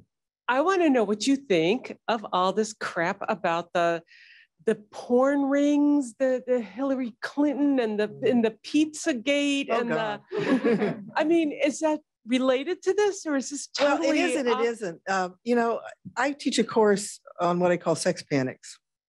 And a lot of what we look at in that course is the emergence of certain uh, discourses around uh, sex offenders, for example, going back to the 1930s and 40s. Uh, some of the issues around kids and sex, some of the issues around sex work and, and trafficking. I was going to do a whole section on trafficking, which I didn't get to do. Um, and what has happened recently, that stuff has already, it, it's been problematic for decades. And part of what I do in this class is that I, you know, we go through kind of how these things got constructed and what their effects were and how they fell on mostly like gay men and many of the other uh, problems with it. But um, I feel like it's sort of like all that stuff has been so weaponized recently. I feel like you know, I, I open the, I, I get online or I read a newspaper and I feel like uh, things have stepped out of my syllabus and onto the, you know, front pages. And it's, it's kind of like, you know, anthrax is deadly, but when it's weaponized, it's worse. And I feel like QAnon has taken some of these already very problematic structures and essentially weaponized them. And yeah, this idea that Hillary Clinton was running a sex trafficking, a child trafficking ring out of a pizza parlor in Washington, D.C., out of the basement, and it doesn't even have a basement. And people still believe this and want it investigated. It- it's completely nuts. And uh, I can't, I, it's not my area of competence. There's a book called Pastels and Pedophiles, which is about QAnon, which I haven't read yet. So I don't know. I can't say anything about it, but it's really, I- okay, good. I have it on my shelf. It's one of those. Oh, and Susie knows it. Um, but you know, QAnon is it, all this stuff is kind of really amazing, and the idea that all the Democrats are you know, eating babies and drinking their blood and and and running sex trafficking rings. And pedophile has now it's like worse than communist or Nazi. It's, you know, it's really interesting. I saw Timothy Snyder talking about the way Putin uses Nazi, and he says it really has no content. It's just everybody you, you can hate uh, and dehumanize, and that's how pedophiles being used these days. It has no relationship to pedophilia. It's just it, just like the Putin's the use of Nazi has no relationship to Nazism. Um, and it, it, it's it's even in people who should know better. Like I saw Rachel Maddow do a really great segment on Putin's use of pedophilia and planning child porn to try to completely discredit people. Um, and she starts out by saying pedophilia, it's the most evil thing on, you know, that you could possibly imagine. Well, first of all, I think really a lot of evil things. There's a certain hyperbole that gets into this language, but beside that, she doesn't understand that pedophilia is not child molestation. Pedophilia is a diagnostic term for people with a certain set of emotions. And child molesters are not are often not pedophiles. So, you know, it's like a Venn diagram. Yeah, there's pedophiles and there's child molesters, and there's an area of overlap, but they're really different things. So she was essentially, you know, just kind of spouting this nonsense and then did a beautiful section on, on Putin. So it's very distressing actually to see the Pizzagate thing has morphed into a vast uh, online and social media discussion, you know, in which everybody you love to hate, including all Democrats, um, you can just call them those names. It, it's quite, I mean, I, I don't know if that answers your question, but uh, I've been trying to follow it, but it's actually proliferated so rapidly. Oh, and then in the hearings for poor Ketanji Jackson Brown, you know, Eh, the truth of the matter is the child porn laws were kind of nuts when they were passed because they criminalized things like you could be 18 or 17 years and 11 months and 20 days, and that's child porn. When you hear the term, usually people think toddlers or babies, but actually the, the range of what's illegal goes up to, you know, the 18th birthday, at least in the federal laws, I understand it. And it criminalized things like nudity. So, you know, ethnographic films with naked kids running around are technically child porn. And I was just watching um, uh, recently The Godfather, and there's a scene in Godfather 2 where young Fredo is getting treated with cups for pneumonia, and he's a baby, and you can see his little baby peenie. And that's child porn technically. And so, and then there's the whole story of Jacqueline Livingston, which some of the folks here at Cornell know all about. This woman who, photographer, who was just destroyed by uh, you know, because she took pictures of her kids, uh, which were, and there are a number of stories like that. There's Sally Mann, there's uh, Marilyn Zimmerman in, at Wayne State. These are feminist photographers who thought it was important to document, you know, the real bodies of their children, but this is technically child porn. So the laws themselves started out kind of, you know, with a, a number of assumptions that I think were questionable, way too broad and and a lot of assumptions that never got questioned. But of course, they've become more and more intensified over the years. So, for example, the original child porn laws, it was assumed that taking a nude picture of a child under 18 was itself a form of abuse. So it was the taking the picture that was illegal in the original, uh, the way the laws are written. Possessing it was not a crime. Well, now possession is a crime. And now these laws were written before the internet. So in order to possess more than one image, you know, you had to actually go out of your way. Well, now you can apparently download, you know, hundreds, you know, in a heartbeat. So the sentences have become, you can get harsher sentences for downloading some pictures off your computer than for actually murdering a kid. Mm-hmm. You know, I mean, the, so the sentences are crazy and the judges know this. And they're trying to fix the sentences so they're a little more related to the actual crime. And so she gets raked over the coals for being one of hundreds of judges who feel this way about these sentences. So there's a lot. This is just an enormous area of, of uh, it's complicated and there are a lot of issues to, to sort through, but it's distressing that it's just become a kind of political weapon like weaponized anthrax. And uh, it's been injected into our political ventilation and hard to escape. And uh, it's, it's very distressing to me. So I, I hope that answers your question. Hi, uh, I have a, a, question from chat, mm-hmm. and mm-hmm. and I just want to share that comments are rolling in from the over 100 people who've been watching virtually.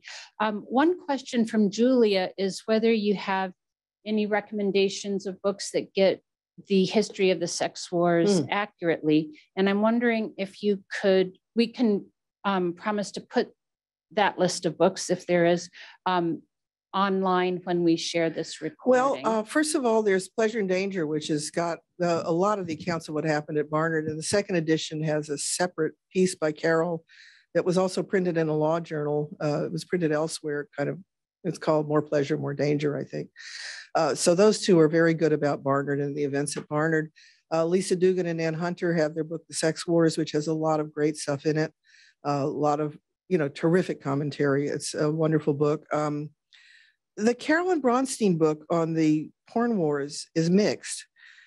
The first three chapters are uh, basically saying, trying to rationalize why the anti-porn movement came about by looking at the, the, the 60s and they're based on secondary literature and they're sort of, I think, a skewed reading of, of, of that literature to kind of build up to the anti-porn movement.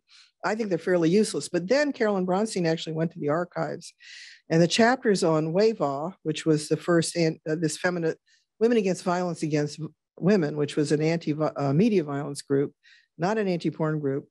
That's excellent. The chapters on WAVPAM and WAP are archivally based. She went to the archival uh, collections for all three of those groups and really use them. They're really useful. Where the book starts to fall down again is when she gets to the opposition because there aren't yet a lot of archives. And so that becomes kind of murky and very not as precise. So, you know, she has things in there like I was there in San Francisco upset by WAVPAM in 77. I was still in Ann Arbor taking my prelims. You know, I, I don't know how she got me to San Francisco. so, you know, it, it, there's stuff like that. And it, this, these are again these little details, but the big picture is also not very good there.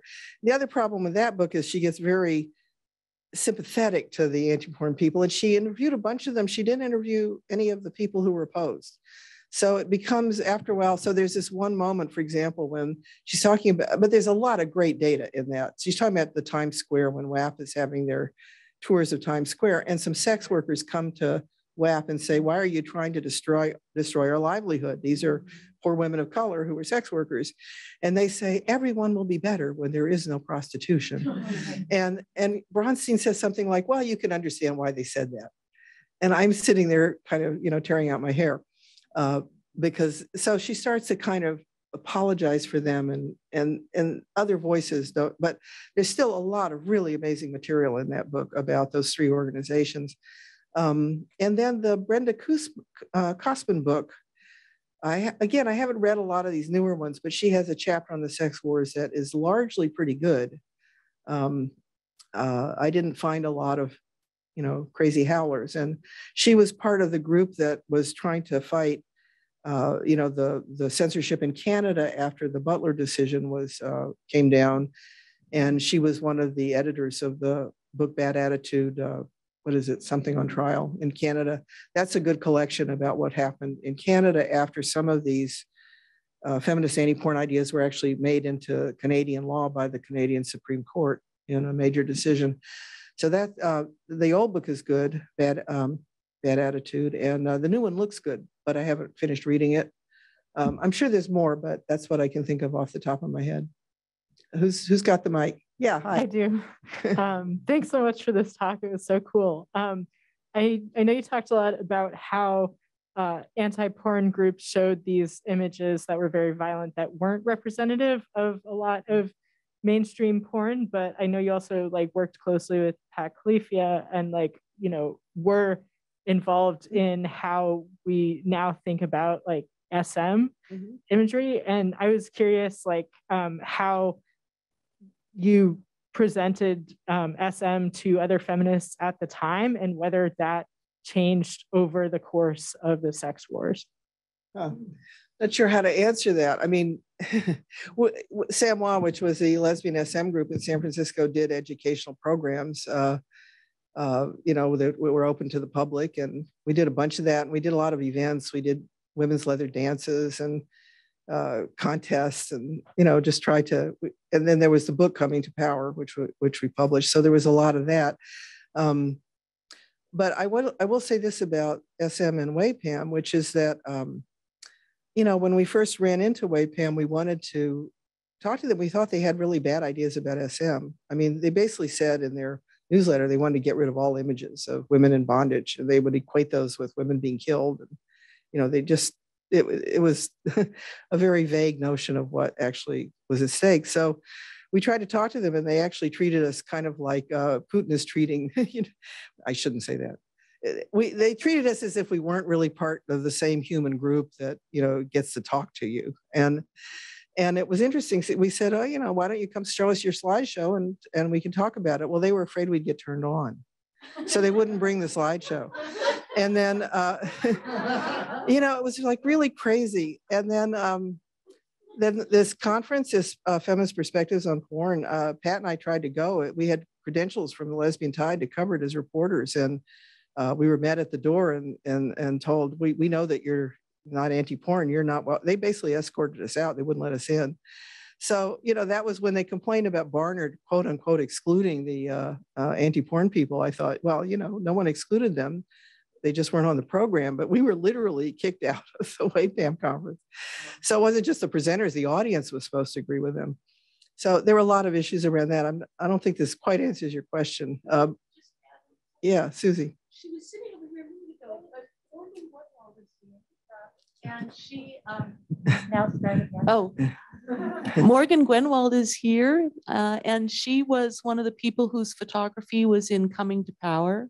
Mm -hmm. And oh, yeah. um, and Honey Lee Cottrell sadly um, passed away in 2015, but certainly was was also a photographic contributor. It's kind of funny because I know Morgan and Honey didn't like let's talk and decide how we're going to present the. You know, it wasn't like yeah. it was a meeting, but um, that I think we're going to be talking more about that tomorrow. Or Morgan might even want to say something now. Didn't mean to put you on the spot. I, I want to say one thing while you're delivering the microphone. I, I didn't ever saw my job as explaining SM exactly to feminism. That I had a lot of jobs, but that wasn't exactly it. But I did write, I did write a piece in Coming to Power called The Leather Menace, in which I tried to explain why a lot of the feminist critique around SM was uh, was misguided, and that was that. It's reprinted in my collection Deviation. So, how was that received at the time? I think that would depend on, I, I don't know because I don't do reception studies, you know, a mix, I think. All right. You know, the book, the book uh, Coming to Power was, was uh, a lot of the feminist publications wouldn't run ads for it. The bookstores wouldn't carry it. So there's a lot of controversy, but other people think it changed their lives and they loved it. Uh, but, you know, you'd have to do, a, you'd have to ask a lot of people that I never really spoke to about the book. All so. right, I have, I'm going to uh, read one more question from uh, chat and maybe time for one quick question if you have a burning question here. Um, there's a question from someone you know, Gayle Lynn Comella. Oh, and she hi, says, she says, hi, this was wonderful. Thank you so much. Um, my question, you ended your talk with an image from the conference diary from the Barnard conference. Administrators at Barnard as you know, confiscated the diary before the start of the mm-hmm. conference, mm-hmm. which added a layer of official censorship mm-hmm. to the event. Mm-hmm. Can you talk a bit about that and about how issues of academic freedom hmm. and campus free speech also got caught up in the feminist porn wars?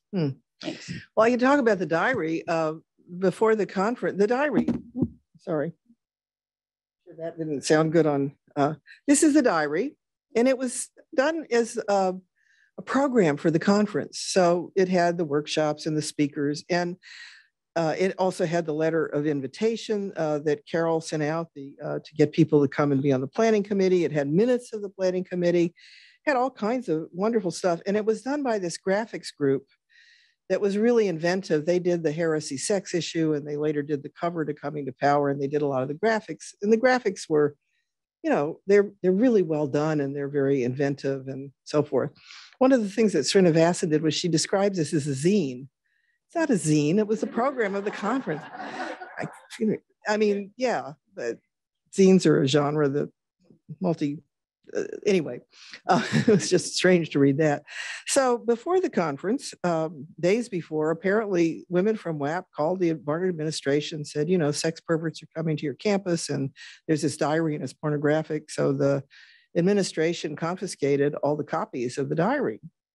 So this really was kind of crazy because this was the program. So I think, I'm trying to remember, I think probably the organizers did a little quick sheet of the events so that we could find our way around, but basically all the information wasn't there. So this helped in the sort of distortion of what was happening at the conference that people didn't have all the information of, uh, you know, like all the varieties of the workshops. My, one of my jokes is that the, the, the, the conference was characterized as, you know, all pleasure all the time, but actually it was pleasure and danger. That was the way that people were talking about it.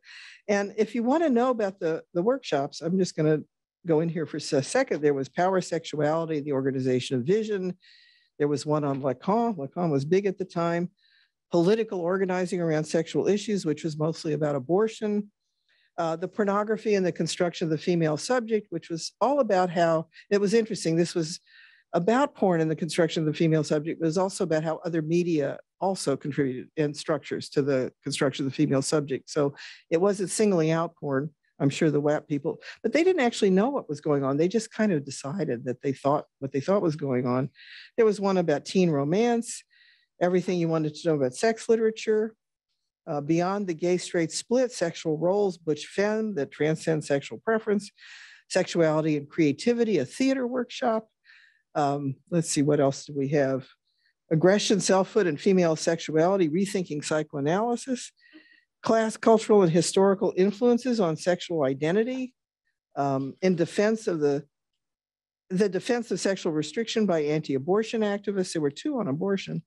The politically correct, politically incorrect sexuality, uh, one that was um, also very controversial. The myth of the perfect body, age, weight, and disability, uh, eroticism and taboo, sexual purity, maintaining class and race boundaries uh, my concepts for radical politics of sex. There was one about sex and money.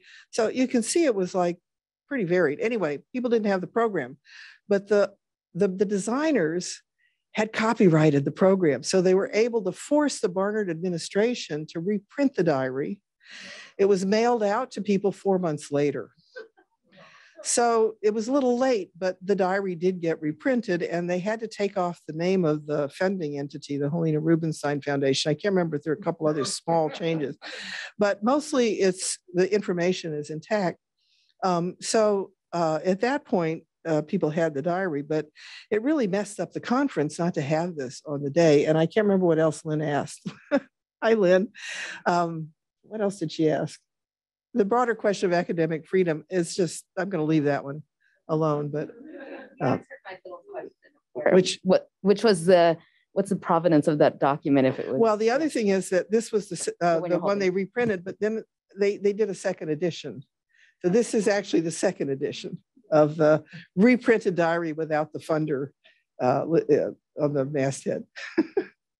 And the people who did the diary gave me a few copies to distribute and i realized that it wasn't clear that Brenda had one here, and there is one in the Honey Lee papers, but I thought they should have one they could catalog separately because then it's easier to find.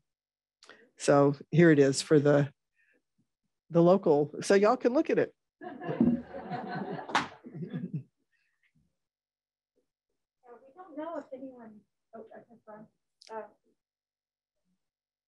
we don't know if anyone has any copies of the original brochure? There are a handful of the original ones, Okay, but they are very rare and they're in private hands, I think mostly. I don't know if, it- if any have hit institutions yet. all right, if anyone with those private hands is listening, we'd like to have a copy for the library. Um, I want to invite you all to spend a few minutes looking at the exhibit and please thank me and, and thank, join me in thanking Gayle for coming today.